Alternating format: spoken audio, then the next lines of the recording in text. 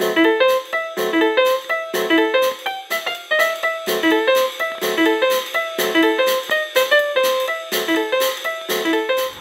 guys, I'm heading over to the shop to cup coffee from Mogiana in Brazil.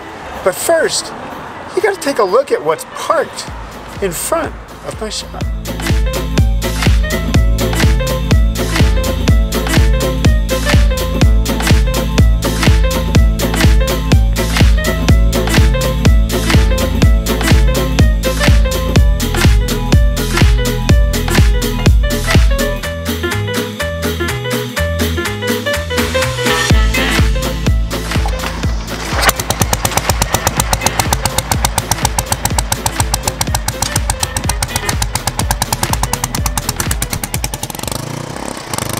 Hey kids, this is Seth Appel, your personal coffee roaster, and today we're cupping coffee from Brazil. Let's talk about classics, shall we?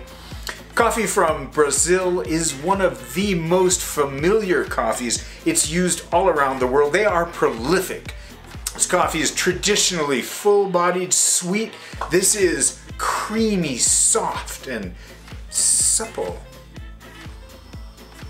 The aroma is earthy and dry, but I smell the black cherry, the coffee cherry. The cup is thick, smoky, and has a hint of cocoa powder and spice. It, this tastes like the Pacific Northwest smells on an Oregon winter night. You and I both know Brazilian coffees inside and out. Other companies blend Brazilian coffees. We drink Brazilian coffee straight up, neat, natural. The finish is creamy and sweet. Yeah, Brazilian Mogiana. It's a classic. Mwah! Love you guys! Thanks for stopping in. I hope you enjoy our little weekly visits and I'll see you again next week.